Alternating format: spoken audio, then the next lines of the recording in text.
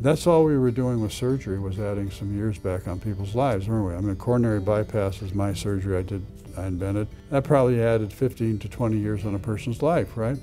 Well, I'm able to do that right here without ever going to the operating room. And uh, so we think this is probably the most important part is to keep them off the operating room table. And even the patient you operated, say you did a coronary bypass on, you couldn't change his habits because you didn't have him long enough. He was in the hospital a week, and then he would come see you once or twice, and then he'd see his cardiologist after that. But nobody had control over saying, you got to change these habits, you got to change the way you eat.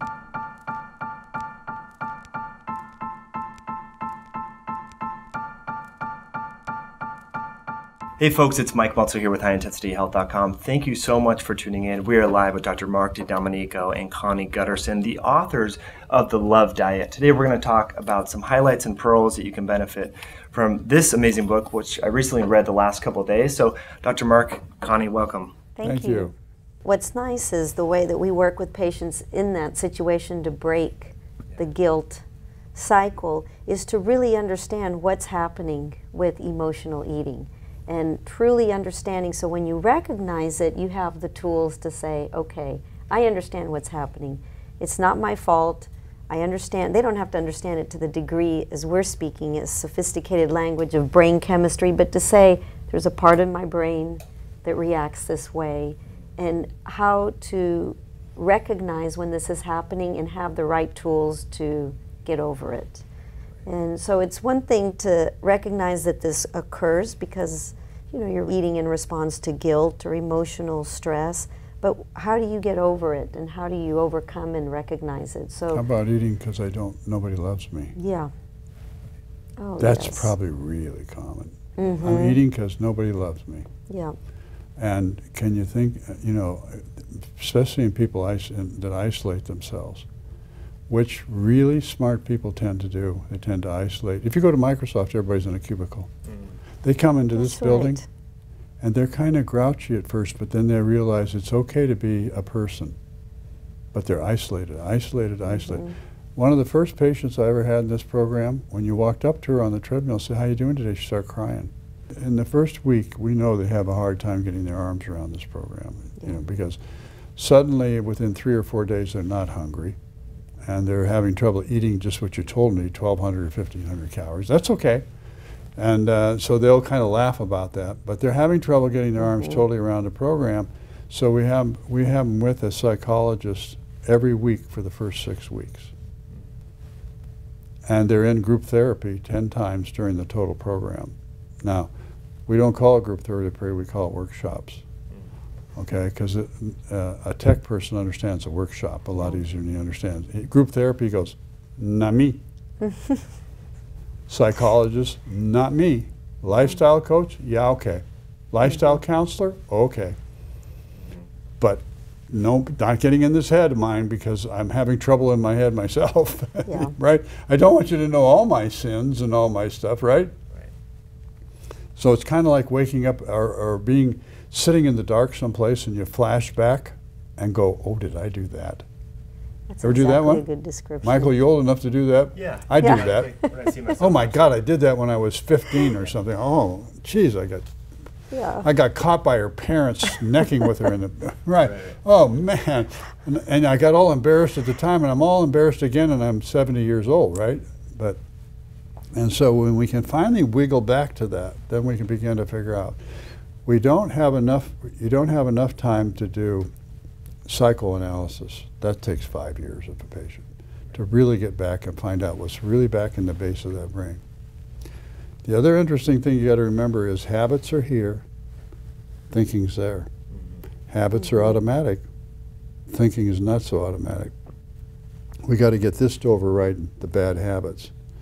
Like eight o'clock at night, you get up and from your ki- and you walk out to your kitchen and you're looking in the drawers. That's a habit. You say if you say to yourself, "Am I hungry?" Yourself will say, "No." Well, what am I standing in front of this drawer with it open and looking for this food for? Well, it would really, it would taste good to me and make me feel good right now because it's probably reward center food, right? Mhm. So that's a habit to get up you you have to get this thing to kick in and say, I don't want to do that. And after you stop doing that for like two weeks, it'll get easier and easier not to do. But the first couple of weeks is pretty traumatic. But by changing their diet the way we do the first week, then they are not hungry at all. They don't even think about going out to that cabinet because that's not, there's nothing in that cabinet that's on their diet. Mm-hmm. In fact, we tell them to get all that stuff out of their house. Now, funny story. So I'll uh, give the introductory seminar down here. It's two and a half hours, right? And they get an idea what's going to go on. They can decide whether they want to do the program or not. And I will say, you all have these foods in your kitchen, don't you? And they'll all go like you're doing. Yeah, I do. I say, are you going home and get rid of them? Raise your hand if you're going to. Nobody in, uh, in 24 years has ever raised their hand. Mm. One guy finally went like this. I said, "Are you going to get rid of them?" He said, "No, but I'll go home and eat it. Then it'll be gone." Right. See, I mean, it, It's there's such a there's such a, a tight thing there that I mean, it's hard to break, isn't it? If I told you to go home and get rid of what's in your kitchen tonight, you're going to think, "Well, I, I might," but probably not. Yeah. Well, you'd approve of what I have in my kitchen, but I understand the concept Mm-hmm. what's going on. But so this connection that people have uh, with food is also chemical as well, like we kind of talked about. It's not only just the emotional aspect, like reward-based eating, but then the the chemicals. So that's why it's really important just to harp and kind of summarize this concept to get rid of this toxic food because it creates this vicious cycle. Is that kind of what we're saying? Yeah, remember, if you get too much sugar, you want more sugar, Mm-hmm. and carbohydrates is a nice name for. For what? Sugar. For sugar. Okay. So if I get too much carbohydrate, uh, I get too much. Now, when, when I was a kid, the bread section in the store was this big brown bread, white bread. Now, how big is the bakery section? Yeah. Forever. Exactly. And what's it made from? Refined flour, which is Sugar. going to turn into sugar in my mouth, isn't it? So if I keep pushing that stuff in, then the sugar sets. My, I get my whole system gets out of whack, and I want more. I want more. I want more. I want more. Mhm. And we got to break that cycle. And then you you have to be careful you don't fall back into it again. Okay, that's that's the fall down point when people get their weight off. Remember that your body thinks that you should weigh what you weigh right now. Okay, if you weighed 250 pounds, that's your set point. So now you take off and you go down to 180, which would be your right weight. Your body still thinks you should be 250. So when you consume too many calories, it'll suck them back up and try to take you back to the 250. Will your set point reset? Yeah, we think so, anywhere from six months to a couple of years. Mm. Okay. Now, once it resets, then it'll set for 180. See, it doesn't when it doesn't know you wanted to go from 250 to 180 because you wanted for your health. It thinks you got in an area where there's no food.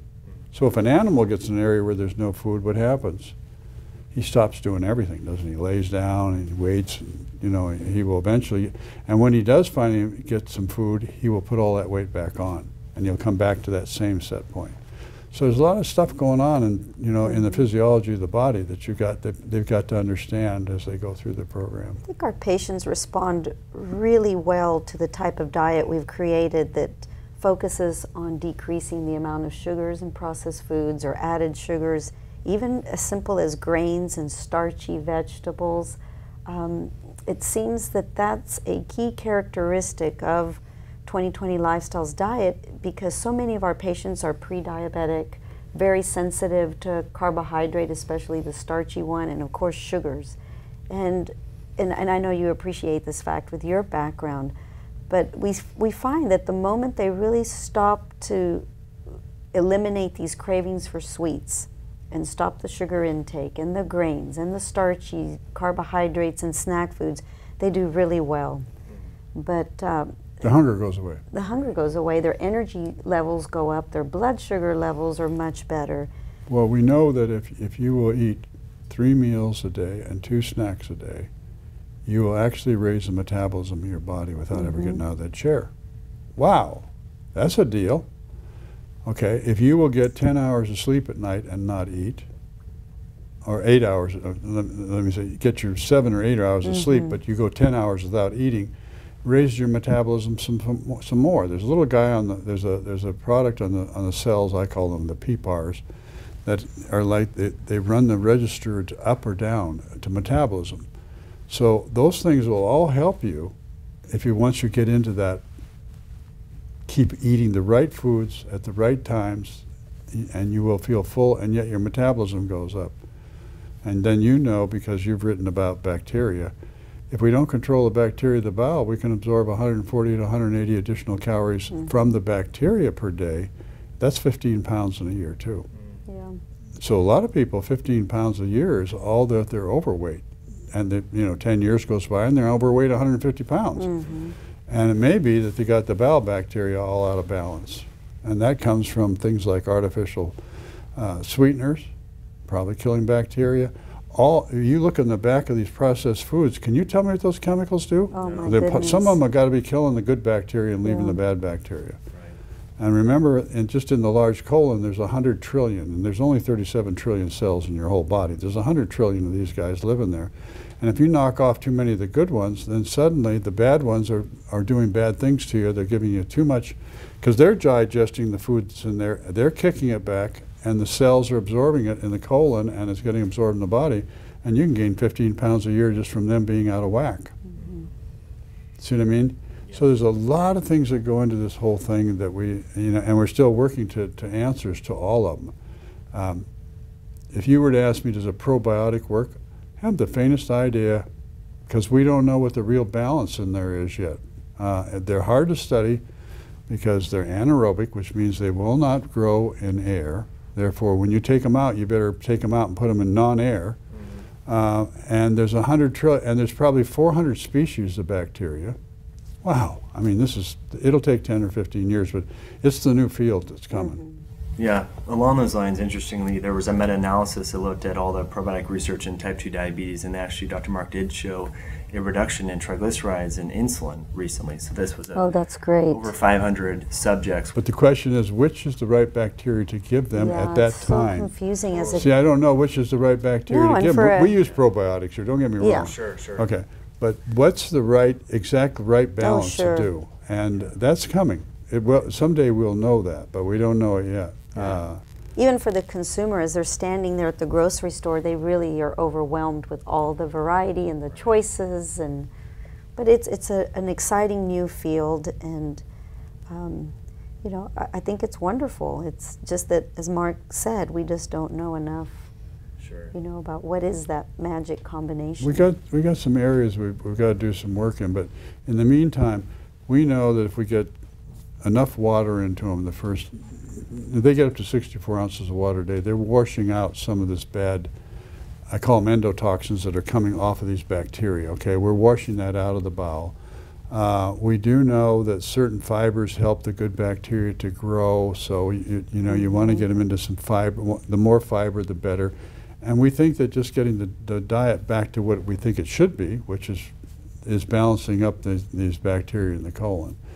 Uh, the bacteria get totally out of wrap when they're getting all this carbohydrate, all these artificial flavors, all these these chemicals that I don't even know the names of. I, I turn a even a pop bottle around and look at the chemicals on it. I don't understand what the heck they do.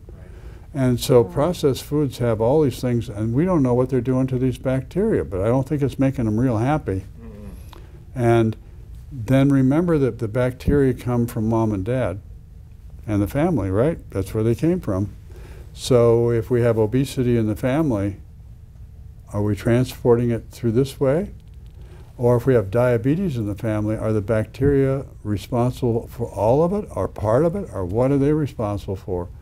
Um, we see depression in certain families and anxiety. I think the anxiety part comes from the bacteria too. But you've looked at this too, so I know that you know that, that you know that there's so many things to do.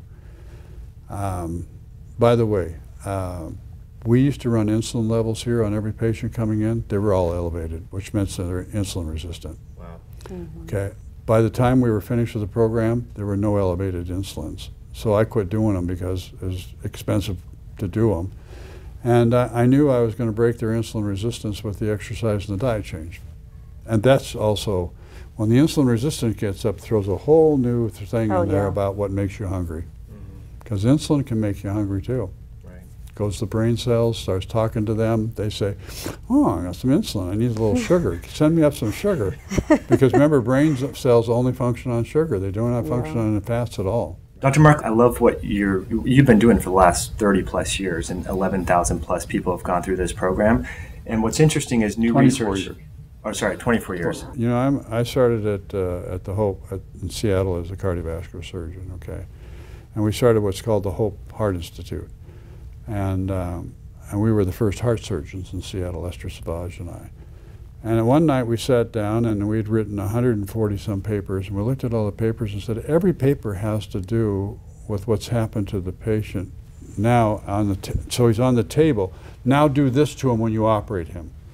We said, we got to stop these patients from getting on the operating room table. So that was why we came over here initially. And that was really to work on high cholesterol, hypertension, diabetes. We thought if we could reverse those diseases, we could really save these patients from ever ending on the operating room table. Well, we found out after about five years we could reverse them. We could put them, they would be, in other words, we get our diabetics totally off their medications 75% of the time, about 73% of the time. We get our, our hypertensives off all their medications, normal blood pressure 79% of the time. High chole- cholesterol is a little bit of a problem because you have a genetic cholesterol called familial hyperlipidemia. Uh, but we still are able to get most of 61% of them off all their medications. So they're normal. I mean, quote, normal, but they can always become that if they get overweight again if they, or if they don't take care of themselves again. And so we got through that, and then we realized we were going to have to deal with this weight problem. So we spent the next 10 years working with the weight. Now, we've got guys in this program that are almost 600 pounds. They'll be all right in the end, okay? All right. They'll be all right. Um, we won't get them to 180, but we might get them to 250, 280. And uh, the taller they are, the better I am, the happier I am about it. okay. Right. But I mean, we're going to get them down, and we're going to save their and we're going to save their life. We're going to add 10 or 15 good quality years on their life, and that's all we were doing with surgery was adding some years back on people's lives, weren't we? I mean, coronary bypass is my surgery. I did, I invented. That probably added 15 to 20 years on a person's life, right? Well, I'm able to do that right here without ever going to the operating room, and uh, so we think this is probably the most important part is to keep them off the operating room table and even the patient you operated, say you did a coronary bypass on, you couldn't change his habits because you didn't have him long enough. He was in the hospital a week, and then he would come see you once or twice, and then he'd see his cardiologist after that. But nobody had control over saying, you got to change these habits, you got to change the way you eat. And that's all we were doing with surgery was adding some years back on people's lives, weren't we? I mean, coronary bypass is my surgery I did, I invented that probably added 15 to 20 years on a person's life, right? Well, I'm able to do that right here without ever going to the operating room. And uh, so we, we think this is probably the most important part is to keep them off the operating room table and able to handle themselves. Even the patient you operated, say you did a coronary bypass on, you couldn't change his habits because you didn't have him long enough. He was in the hospital a week and then he would come see you once or twice, and then he'd see his cardiologist after that. But nobody had control over saying, you got to change these habits, you got to change the way you eat, you got to change. We told them that. The dietitian walked into the room and said to them, Michael, now you've had these coronary bypasses, you need to change your diet. And Michael would go, oh, okay. And normally the dietitian weighed 290 pounds, so that didn't work very well. Right. so we, this was the first place where we really could focus on the patient, and, and they would start to focus on what they were thinking too. And it's really ahead of its time. I mean, just now Oh. in 2016, we're seeing medical publications like JAMA and the Journal of Obesity. I have a paper here that is in line with what you've been doing for, you know, for two mm-hmm. decades, and I think that's pretty remarkable. So, was it just intuition that led you to realize that we need to synthesize, you know, the, the mind-body connection and work with psychologists and personal trainers? Like, how did what aha moment, or did it just come together organically over time? Well, I knew we had to change what was going on in their head, and we knew we had, uh, and we figured out right away that nobody loved themselves that was coming to see us. Uh, they, they were reaching out for help, and I, one of my best friends was a was a psychologist. Uh, Dr. Roborski is a, uh, a psychologist. So he came and helped us with our beta studies, and we, we just started this way from the very first beta. Now, we refined it as we went. We learned as we went, but uh, we knew we had to get we had to get this habit thing changed. Otherwise, they were going to go back to their old habits, and if they go back to their old habits, they're getting their way back. Mm-hmm. So we had to say, you don't just change your diet for the time you want to lose your weight. You got this is the rest of your life, which is hard to say. I mean, if I told you to change something that you like to do every day for the rest of your life, that's going to be hard. That's going to be hard Yeah. for you. And I think what really sets Dr. Mark's program apart is that there's a, a you know there's medical knowledge that we can all appreciate through journals and you know seminars that you go to but there's also a type of wisdom that comes with working with patients for many many years and when you have a clinic like 2020 lifestyles that's been in practice for over 20 years and over 11,000 patients you start to learn things that are not captured in a journal. And it's this wisdom of experience that allows you today to do a book like this because many people will say, Well, how did you come up with this approach? It's so interesting. Well, there's really few people that can write a book like The Love Diet because there's so many years of experience, not only medically, professionally, but also intuitively from working with so many patients, and you gain this wisdom. So it's, a, it's really unique. Absolutely. So in this room, every once a week, there will be five docs, 10 psychologists, 10 or 12 dietitians, and four exercise physiologists. And on this screen behind us, a dietitian will present every patient in this program. Mm-hmm. And we will talk about what, and we have a, a dashboard of, of information there that we can see everything they've done, the whole program, that week, and so forth, so on. If they've had their cholesterol checked or whatever, it all shows up there. And if they're not losing weight, we stop the whole meeting down and say, oh, how do we help this person get back on track again? And from that, we started to, you know, that's where we're learning the learning. We don't learn from people who do well, we learn from people who do Mhm. poorly. And so the harder they are, the more we're learning. And uh, we know that, for instance, binge eating is a, is a horrible disease, and we're able to ha- have, we're able to help probably over half of our binge eaters lose weight here. It's the only center in, that I know in the world that's doing that today. Um, the other half, we're still trying to get, we, they don't gain any weight, they may not be losing much. They may only lose 20, 30 pounds, and maybe they need to lose 100 but at least they're getting control and they're settling down to where they are and we begin to, to look into why they go off and eat four or five thousand calories at a sitting and they have to learn from that so we, we have a totally different program for that mindful eating which you probably are aware of so we teach mindful eating and we have special uh, and the groups are specially done for people who have binge eating. So they're all binge eaters sitting in the groups. So they begin to understand each other and they realize I'm not the only one that does this. And so from that, now some of those people, um, I will ask the psychologist, can we do get any better? And they said, Dr. Dedomenico, if I see him every week for the next 20 years, I can get him 5% better Mm. because it goes way back so deep. It takes psychoanalysis to get there. but at least we got him settled down and we got him going where we're going. That binge eaters represents about 15 to 20 percent of all people who are overweight. And then normally the really heavy, the, the morbidly obese person is a binge eater.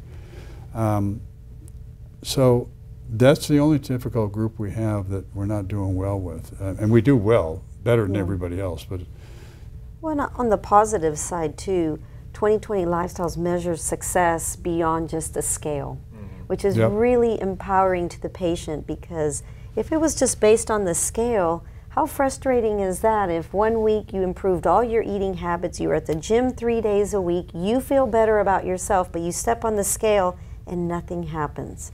And so we put in place, you know, various measures of success from emotional traits to positive thinking. Did you change how you interact with your family? How does your kitchen pantry look like now? How do you feel? How do you self talk? Do you see an improvement? And when you have these different parameters or measures of success, your patient feels really good beyond just basing success on that narrow approach of the scale. And I think that's been some, really nice how we do this. Some people will lose uh, 1% of their body weight a, week, and others up to 2%, two and a half. And it depends on, has something to do with brown fat cells, and we don't fully understand how they get these brown fat cells and so forth and so on. So, you know, men have always been faster losers than women. They probably have more brown fat cells than women. Uh, but we have some women that can lose four pounds a week and just that thing keeps going like that week after week after week. For the most part, if the, uh, we get most people back to a, close to a normal body mass index uh, before they leave here, mm. if they if they've come in for the right amount of time, and each and it depends on how long they'll be here, depending on how much they weigh and how much they have to lose, because I only do one or two percent a week. I'm not Jesus, you know. Right. I thought I was for a while, but I'm not. Okay, so just teasing. um, our success rate is pretty good, and the only ones I, I really, is, uh, as you can tell, I'm worried about are the binge eating in that small group that just kind of flattens out and doesn't do anything. Um, we're still working on that. We're going to find the answer for it, and we've got we've got good psychologists, and it's really a psychologist problem because there's something deep seated in that person.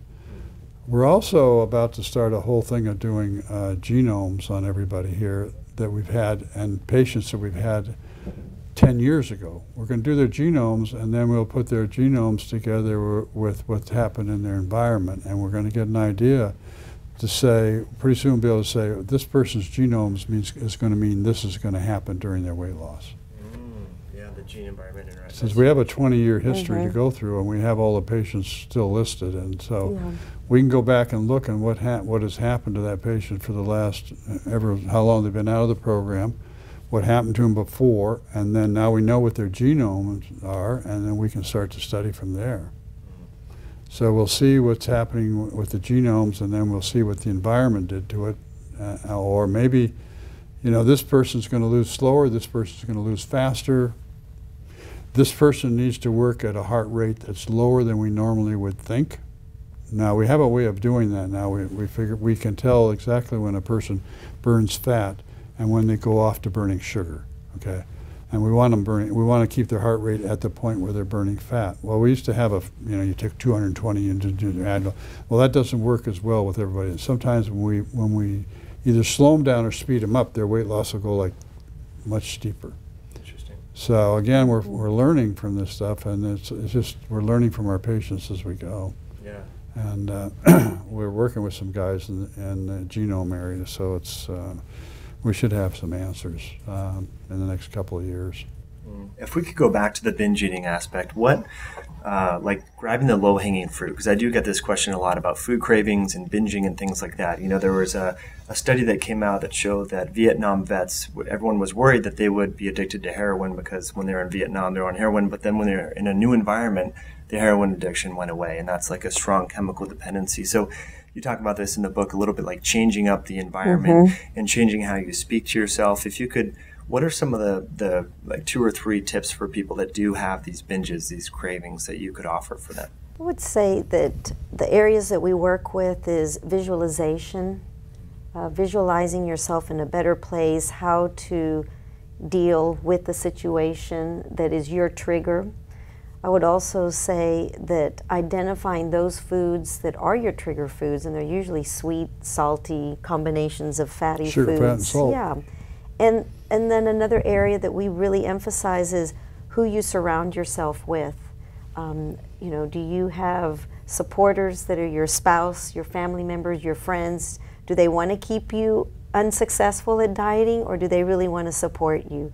And there's more. These are just some of the tips. That's that a very common thing, keeping you yes, unsuccessful.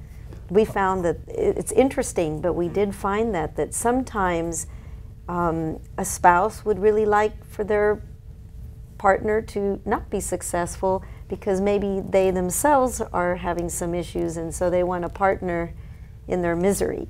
And when we see, you know, the individual succeeding, feeling better about themselves, that changes the environment And that has been a whole other issue to deal with, which is off topic of No, what you asked huge. us. But we, we do we recognize have couples that. come in here that weigh uh, 300 pounds, both of them.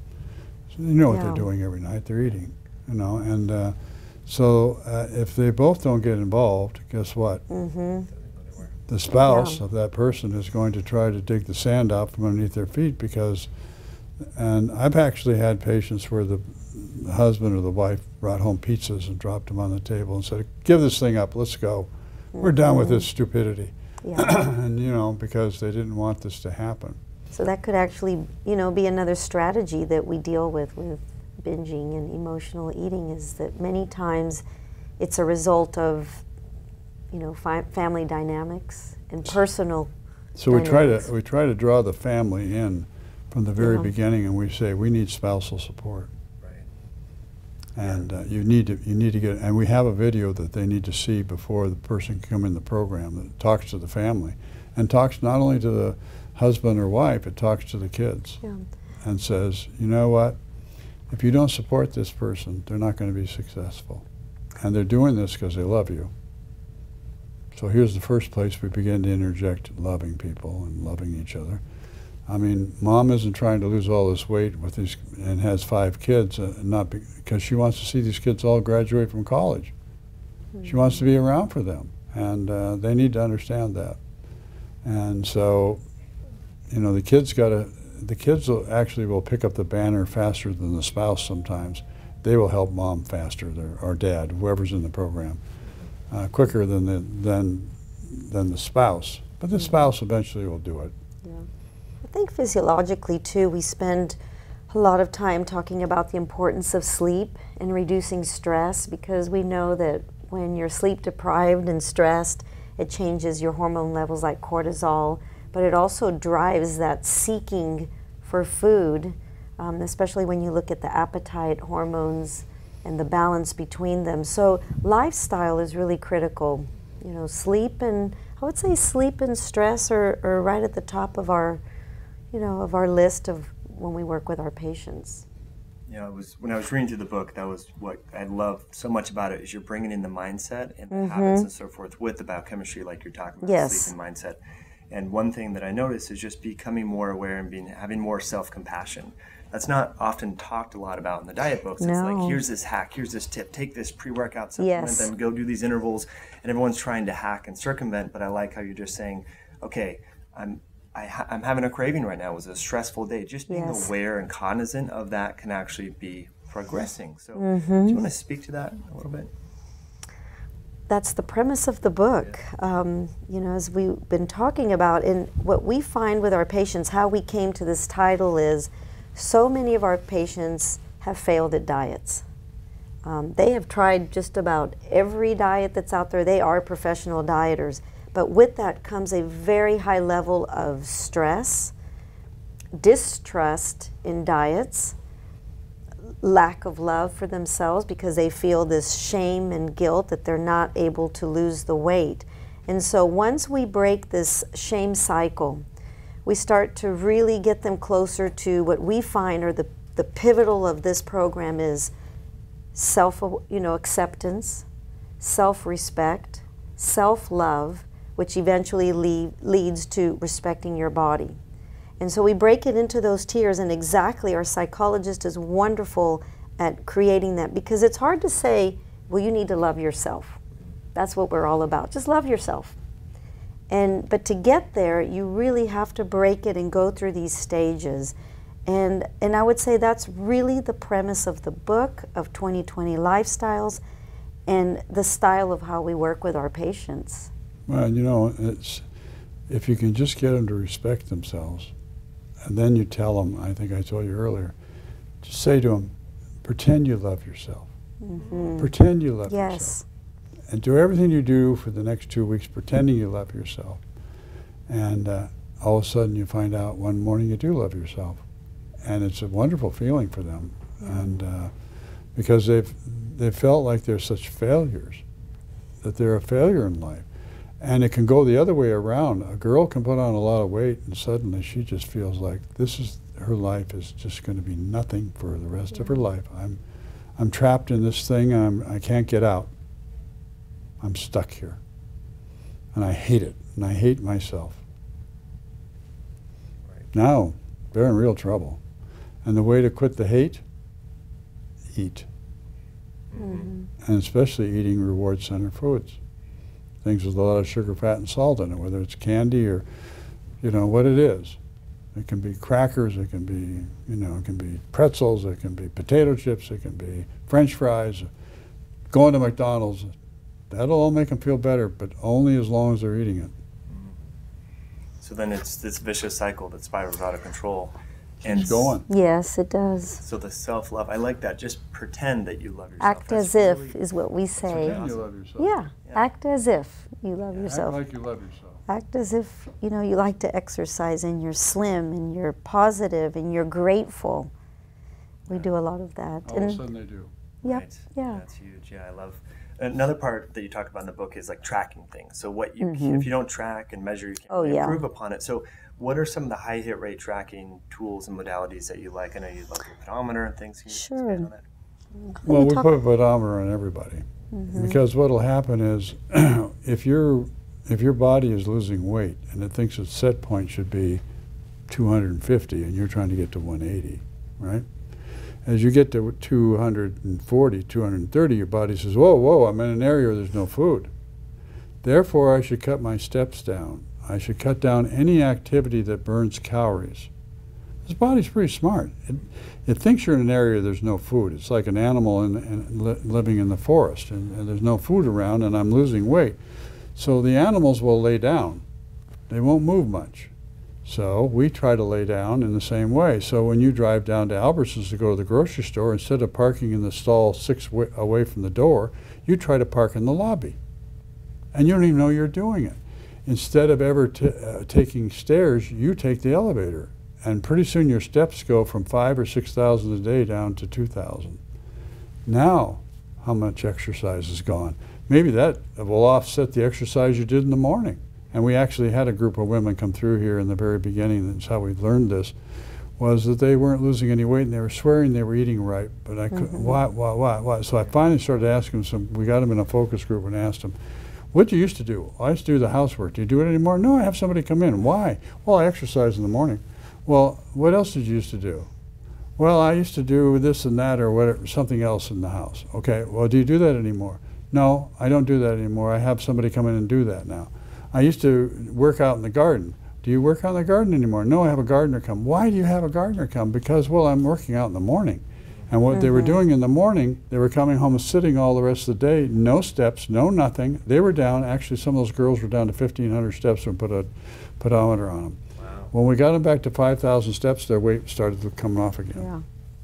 Gosh, people really underestimate like how much energy expenditure you do when you garden or get groceries. Yeah, stay clean the house. active. Yep. Mhm. Huge point. Thanks for Yeah. sharing. that. Yeah. And from a dietary standpoint, we use we have a wonderful website that allows you to track your meals. And so they can track everything that they're eating. The dietitian supervises is available to support them. You know, we know through studies from Kelly Brownell that people who plan and track are more successful. So there's no denying that that when you write something down, you're mindful, you're aware of what you're consuming and you have a plan to match it to. We also use the plate concept so that when they're eating from a plate, because some of our patients probably eat out of a bag or out of a package while they're on the computer. So we say, you know, eat from a plate. We give them guidelines on how to plate their food.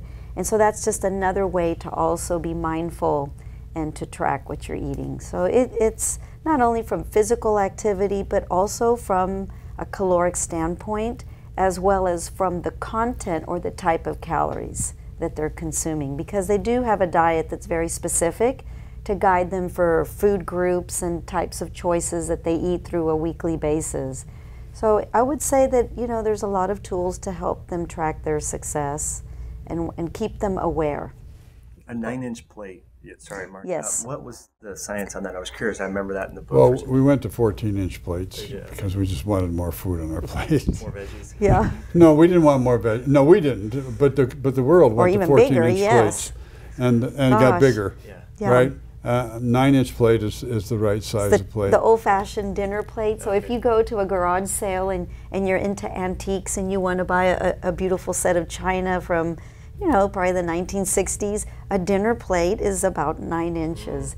Where if you compare it to a dinner plate today, it's, as Mark said, 14, 16 16, and the bigger the plate, we know from studies, the more food that you can put on, you're going to eat. Which means I love that? you more in Yes. Italian. yeah. the palm of your hand, for instance, is six ounces, and it's the right thickness of chicken, or meat, or fish, or whatever.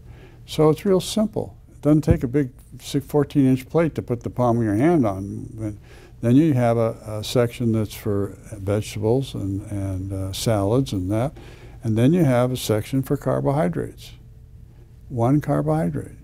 So you can have half a cup of fruit, or you can have a glass of milk, but not a half a cup of fruit and a glass of milk. Or you can have one serving of beans, which is about a half a cup. You know, if you went to Ixtapa, you would get one serving, you would get 20 servings of beans, and they're all done in lard, right? Okay. Or you can get one serving of, of grains, which is like a piece of toast, uh, or for- with your breakfast in the morning. That's a serving. But you can't have a piece of toast and the fruit. Or if you drink, the, the wine becomes your serving of carbohydrate. Brilliant. Yeah, Now good. we keep now you keep them away from the sugar that sets their brain off to go. going, I want more, I want more. Mm-hmm. And maybe one of the reasons people drink uh, and eat more at- when they eat out is that they're getting a glass of wine before they ever start dinner, and the wine has a lot of sugar in it, and the sugar sets their brain off, and now they order everything on the menu plus dessert. yeah. Mhm. And all the inhibitions are gone. Oh, All- sure. and the All of a sudden go it's away at the same okay. time. Yes. tomorrow. yeah. yes. tomorrow. tomorrow. Mañana. Right. Manana. Yeah, that's Yeah. right. Well, like I said, I really enjoyed the book. There's so many transformative aspects, and just even if people are not struggling with weight loss but want to improve something in their life, we often forget about the self love and self respect, and just being mindful of the things that we say about ourselves and how we present Mm-hmm. ourselves to the world is really transformative. So, um, How we present ourselves to ourselves. Yes, that's a very good way of saying it. Remember to present yourself to yourself the same way you want to present yourself to the That's world. That's great. And a lot of people do- don't believe what they're saying about themselves, unfortunately, in this world. As we talked about, there's not enough love passed around in this, in this world today. And so it's always, I can do that better, I can do that better, you can do that better, you can do that better, instead of, great job, I love you for that. This is wonderful. Nobody says that. yeah, We need that. I need it. I walk around here and get a lot of love from all my employees every day. Oh, the patients love him. That's fantastic. Makes them feel great. You know, I think that that's also what's very unique is that you have a physician that truly loves his patients. And I don't know as if you can say that for so many physicians and the way medicine is going nowadays. But you'll walk by the hallway and I'll be behind him or walking with Dr. Mark and he'll say, Good morning, I love you, how you look great. And you look at the reaction of that patient and they're still smiling as they walk away. That has to be important. And I think that that's really also very unique. That's brilliant. Well, as we wrap up, guys, any uh, final thoughts or things that we didn't get to talk about on the book that you'd like to share before we part ways? You know, I'd like to say that, you know, I often get asked this question, you know, how did you think of writing this book with Dr. Mark and what is this book about? And what really um, makes me so proud is not only writing it with my mentor, Dr. Mark, but to be able to reflect back and write about wisdom along with medical practice. I think there's a lot of great doctors, a lot of wonderful dietitians, and very many good diets that are out there, but I don't know of any that can really reflect on wisdom that is something that is intangible to the success of a diet. Um, there's a lot of great diets out there, but we have to be realistic. 98% of them fail. And so I would really like to say that we've created something that is going to make a difference for a patient that is based on a lot, a lot of years of success, failure, and wisdom. What Yep. you, No, it's good. He's great. That's good. That, that's what we do here. I mean, Yes. Uh, this is all about the patients here. hmm And um, without the patients, we're nobody. Yeah. I mean- well, interesting to kind of second what you were saying there, Dr. Connie, is these anecdotes and these small stories, you know, that are often brushed aside in traditional medicine as Yes. not statistically significant. How many patients reported that, you know? And so what we're seeing now in functional medicine is practitioners are being encouraged to listen to the, the patient, what their need to need, what that patient is telling them, Yeah. these anecdotes and these stories, and to, you know, hold value in that. So You think it's beautiful noticed. that you're, you're really Yes, you noticed, and we talked about this, and we said, you know, let's write this book from the patient's perspective and their voice because I think they're tired of hearing us lecturing and lecturing. And we really allowed these very special individuals to tell their story so that when a reader picks up this book and says, you know, that's me, I really understand Donna, or I, I kind of see myself in Kim. And it's different when they have this connection with the patient and the story to say that they find themselves in this situation, and then we can just support the knowledge. So we did write it in a different um, style, and the publisher was really interested in that, and they said, we like this. It's a different voice, and, and it's a lot easier to connect for the reader. The publisher was wonderful to us. Yes. He was really wonderful to us, and uh, um, it just doesn't happen very often. Um, I guess this is a book that, that uh, has been coming for about 20 years. It finally got here. We worked very hard. Yeah, it takes a lot to put yes, it it does. So uh, I I think it, if we can help people get started, and the first get started is like yourself. If we can just get people to like themselves, we're halfway home to making them well. hmm And that doesn't matter what's making them sick, whether it's their weight or their cholesterol or hypertension or their diabetes. If they start liking themselves, they're halfway home to making themselves well, I Oh, think, Well put. because it's important to like yourself. One que- we have a couple of set of questions that are a little bit more casual, kind of Yes. informal as we end the show here. We know that successful people generally have a morning routine. Uh, we could start with you, Connie. What's your morning routine? Do you have a, a set of things you like to do every morning? To- I do. I love to have breakfast. I like to visit with the kids during breakfast. And something that's recently stopped is I used to like to drive them to school. And then I go to the gym and I have a little bit of time for myself. So I would say that's about my morning. My morning is breakfast and into the gym, and I, I call it MBWA. You know what MBWA stands for? Management by Walking Around. So I Oh, go I through this place that. and I get a feel for what's going on with everybody. I see my patients down there on the floor. They see me. They say, well, he can do it. I can do it. And, uh, um, and I also get a feel for what's going on in the whole building. hmm Good for you. That sounds great. I like that. And if there was one herb, nutrient, or botanical you just couldn't live without, maybe it's ashwagandha, maybe it's blueberries. Ooh. What would that be, Connie, and why?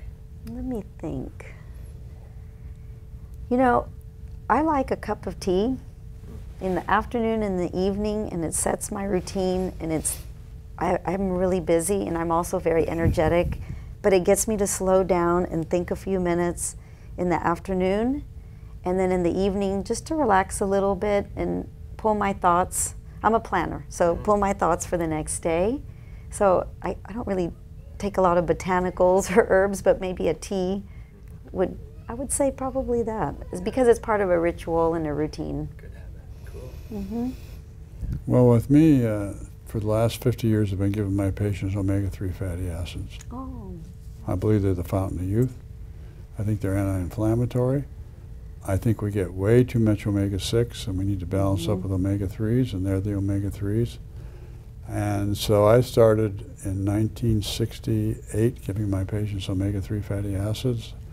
Uh, I also started that same, the next year, giving them all 31 or 81 milligrams of aspirin um, because of the prostaglandins and different things. And um, there's been a lot of controversy. They said I was crazy back then, but now I'm not look so crazy anymore. So I think there's certain things that, that this body needs, um, and I and I and I, I think we're getting and there's certain things we're getting too much of, but it's all right. We can balance it out, uh, and such as omega sixes, we can balance it out with omega threes.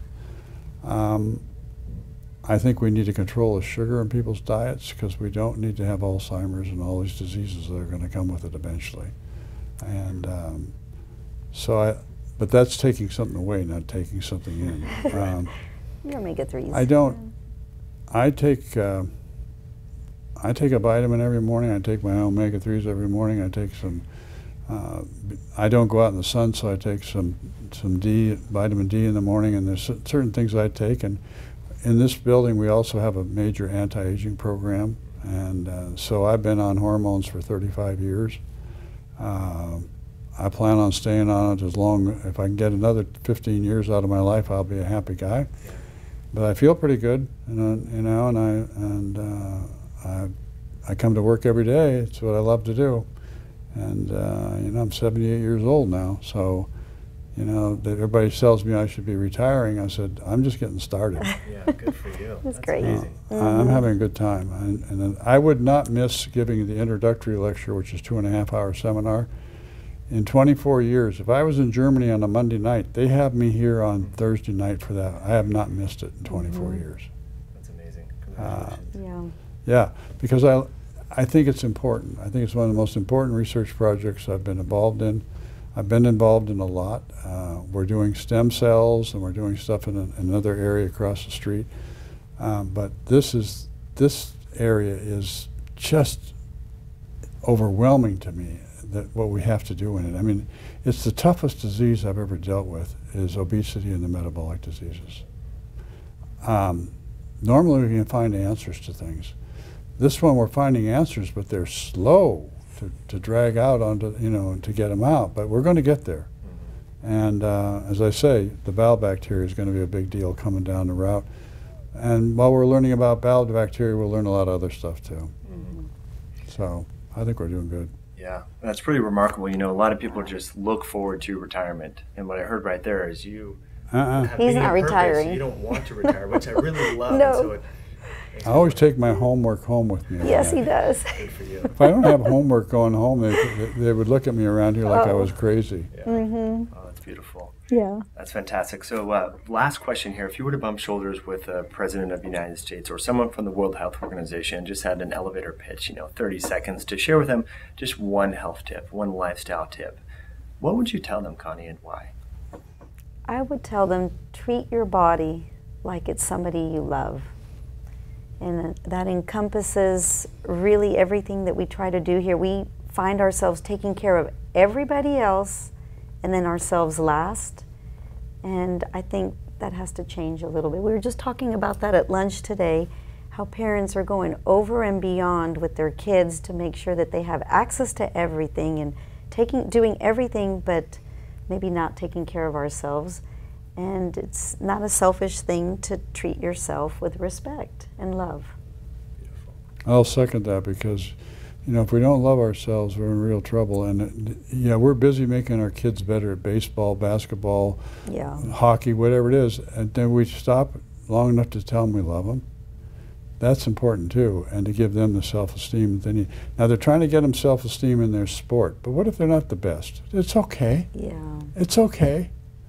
And somebody needs to tell them it's okay and put their arm around them and say, it's all right, I'll still love you. You're the greatest, you know. You don't have to be the best. And so we need to take care of each other. And we need in this country to start looking out after each other. Mm-hmm. Right. If you walk through this building, you will see a thousand employees that are all looking out after each other.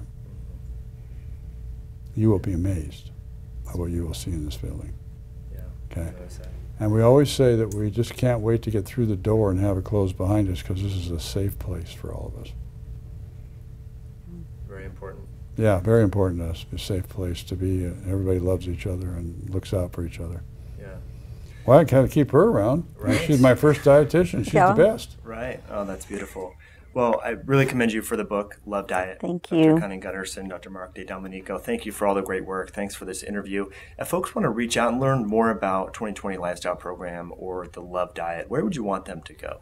We have a website, We have a website, 2020 Lifestyles. 2020lifestyles.com, and we have um, also the Pro Sports Club has a website, and I have a website under my name for Cool. ConnieGuttersen.com. Fantastic.